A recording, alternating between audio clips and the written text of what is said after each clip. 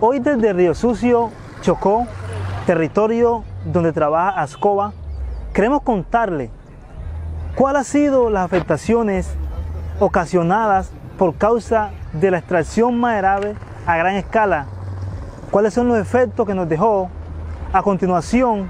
Fausto Palacio nos cuenta. Eh, bueno, la verdad que aquí estamos, como ustedes lo ven, eh, mostrándole, digamos, eh, la cantidad de madera que hay aquí arrumada, pero que sabemos de que esta madera es cortada por individuos. si ustedes miran,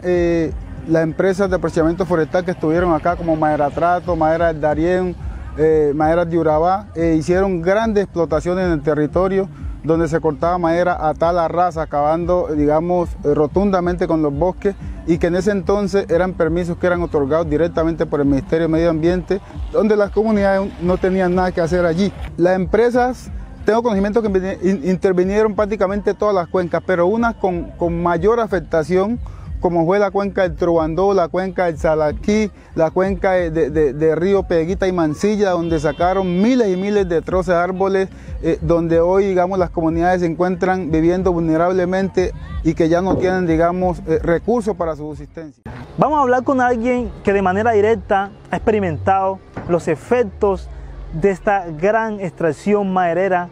que se generó en estos consejos comunitarios por esas empresas que intervinieron. Antes de que esas empresas llegaran al territorio, eh, los pobladores de las comunidades podían ir a cortar un árbol y demoraban dentro de tres a dos horas para llegar al punto de, trabajo. Era muy fácil obtener acceso a esos árboles y traerlo aquí al municipio de Jesús.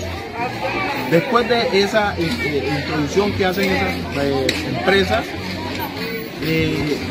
que hacen esa tala de árboles indiscriminadamente con las máquinas.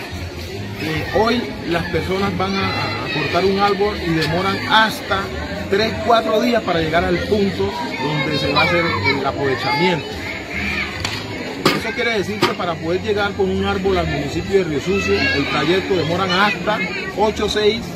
8, 6 meses, eh, hasta un año para poder eh, ver el, fruto del municipio de Río Realmente el daño que ocasionaron esas empresas, ocasionó específicamente Madera del Darién, fue un daño irreversible. Las mayores afectaciones que tenemos hoy es cambio de cauce de los ríos, sedimentación de los mismos, taponamiento,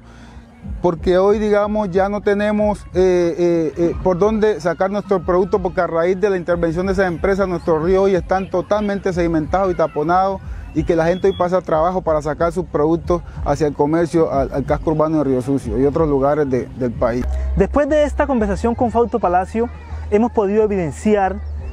esa violación de derechos a las comunidades negras por causa de esta tala a gran escala de las maderas de los bosques.